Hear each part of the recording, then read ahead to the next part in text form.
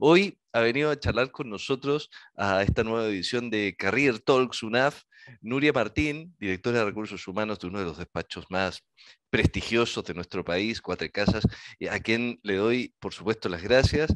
Y, nada, Nuria, ¿qué, tal estás?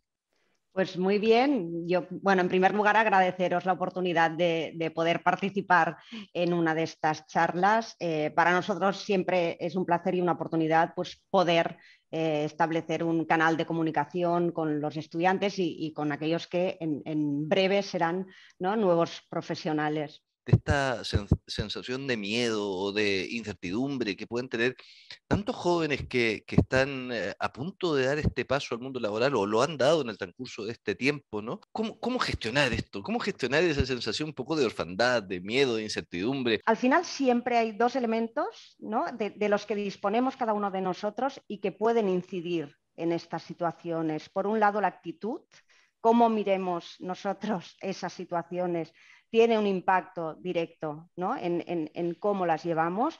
Y por otro lado, eh, tenemos que tirar de algún modo de nuestra capacidad de adaptación. Yo diría, iniciar una carrera profesional eh, siempre es algo complicado, es una realidad que el, mercado laboral es incierto, pero eh, yo, animaría a los estudiantes a que se tomen el inicio de su carrera profesional como un proyecto. Y en ese sentido, que le dediquen tiempo, que pregunten, que aprovechen todos los foros, todos los contactos que tienen para hacerse una idea clara de, cuál es el mercado y de cuáles son las oportunidades, porque es, cierto que es complicado, pero también es verdad que hay oportunidades y que muchas veces estas situaciones de cambio, estos contextos eh, tan cambiantes generan muchas oportunidades. Yo, yo, les animaría a que, a que no se detengan, a que avancen.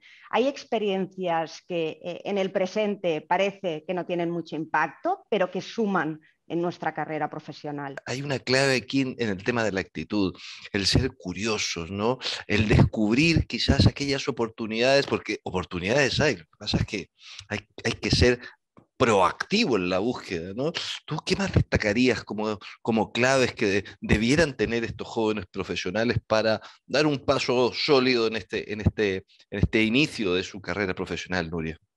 Eh, yo diría, eh, sobre todo en, en, una compañía de conocimiento como la nuestra, pero también en general, el tener una buena base técnica es muy importante eh, tener vocación de servicio. Todos al final, en algún momento de nuestra carrera, si no en todos, eh, tenemos clientes.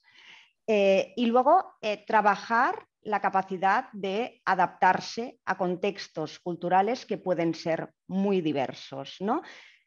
Destacaría sobre todo tener una inquietud permanente por el aprendizaje, por formarse, por mantenerse actualizados, por conocer cuáles son las tendencias, sea el sector eh, que sea al que nos dedicamos. ¿no? Y, entiendo que los estudiantes pueden preguntarse, ¿no? ¿Y, cómo hago yo esto desde mi situación actual? Pues yo les diría que la universidad, más allá de lo que son los programas eh, académicos, ofrece múltiples oportunidades, ofrece muchas experiencias que pueden sumar eh, en el background de, un profesional. ¿no? Y aquí pienso en eh, la posibilidad de eh, participar en foros de debate, de realizar prácticas en compañías, de hacer intercambios, de participar en torneos de debate. Al final hay muchísimas oportunidades ¿no? y cada una de ellas puede ser un reto que sume en la carrera del estudiante y, en una carrera profesional en general. ¿no? Es importante que se expongan a retos, que pregunten, que sean curiosos, porque todo seguro sumará. ¿Cómo estáis gestionando vosotros, eh, Nuria, a, estos profesionales jóvenes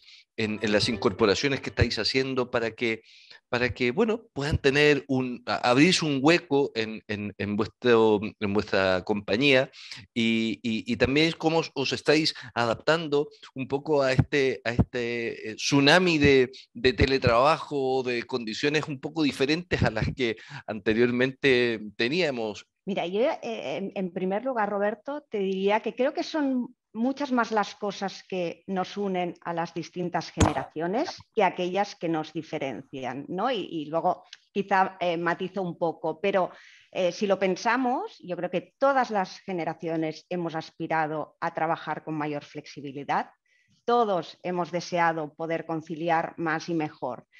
Al final, muchas veces la diferencia viene más por la etapa vital en la que se encuentra un profesional, ¿no? que por el hecho de pertenecer a una otra generación. Dicho esto, es cierto que sí percibimos eh, una mayor urgencia en acumular experiencias en las generaciones más jóvenes y también una mayor sensibilidad en todo lo que son las, cuestiones medioambientales incluso de impacto de eh, los derechos humanos en eh, la forma de ser, la forma de actuar de las compañías. Pero al final nosotros esto lo, percibimos como una palanca, como algo que nos va a ayudar a mejorar en, distintos aspectos de gestión del despacho. Y un ejemplo claro es nuestro programa de Smart Work, que va a permitir que mm, dos días a la semana nuestros profesionales trabajen en remoto. Y al final optamos por un modelo que ofrece flexibilidad, pero que también garantiza la coincidencia en la oficina, algo muy relevante para los jóvenes en términos eh, de formación on-job, por ejemplo. Eh, y el objetivo único en realidad de este programa es la conciliación, ¿no? algo que creo que conecta con todas las generaciones, eh, quizás más con, los más jóvenes. Nosotros tenemos trabajada una carrera profesional a largo plazo para nuestros profesionales, pero somos muy conscientes de que el largo plazo al final se percibe como algo muy lejano. ¿no? Y precisamente por conectar con esta necesidad de acumular experiencias, em, introducimos algunos itinerarios en esta carrera que puedan dar respuesta a inquietudes que son de carácter más eh, personal, eh, como pueden ser programas que facilitan el poder eh, desarrollar un programa de doctorado compatibilizándolo con el ejercicio profesional, la posibilidad de hacerse comments en oficinas internacionales propias, toda una serie de programas que, pretenden esto, ¿no? que dentro de eh, que la carrera es una, cada uno pueda ir construyendo su propio itinerario. ¿Qué consejos, Nuria, le podrías dar a, nuestros estudiantes, sobre todo los últimos cursos, ¿no? que saldrán de nuestras aulas en los próximos meses para comenzar a desarrollarse profesionalmente? Eh, y, también a, los, recién graduados, ¿no? a los que están dando ahí sus primeras batallas para, insertarse correctamente en un mundo profesional con las características que hemos estado relatando. Yo les diría que, el conocimiento es siempre un valor y, el conocimiento en su sentido más amplio, no solo desde una perspectiva técnica, sino también desde una perspectiva pues, de, habilidades ¿no? que, deberán ir trabajando durante toda su carrera profesional.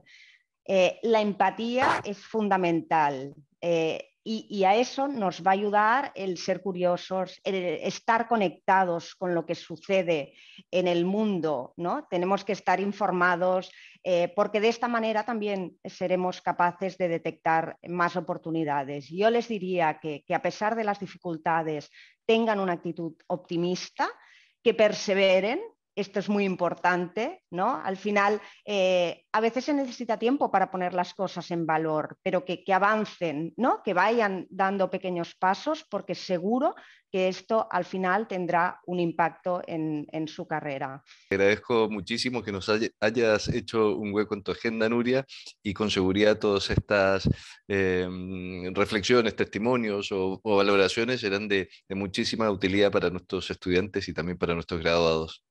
Muchísimas gracias a vosotros, Roberto, y, sobre todo un mensaje muy positivo.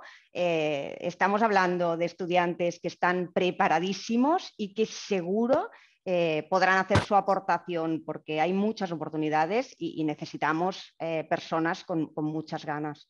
Fíjate, y tú, lo decías, necesitamos que los profesionales jóvenes tengan em, conocimientos, ¿no? que, sean válidos en, en, las materias en las cuales se vayan a desempeñar, pero también que sean buenas personas. ¿no? Esta combinación de talento, personas con talento y buenas personas con talento. ¿no? Oye, muchísimas gracias y hasta una próxima oportunidad, Nuria. Muchas gracias. Seguro que sí. Un abrazo. Gracias.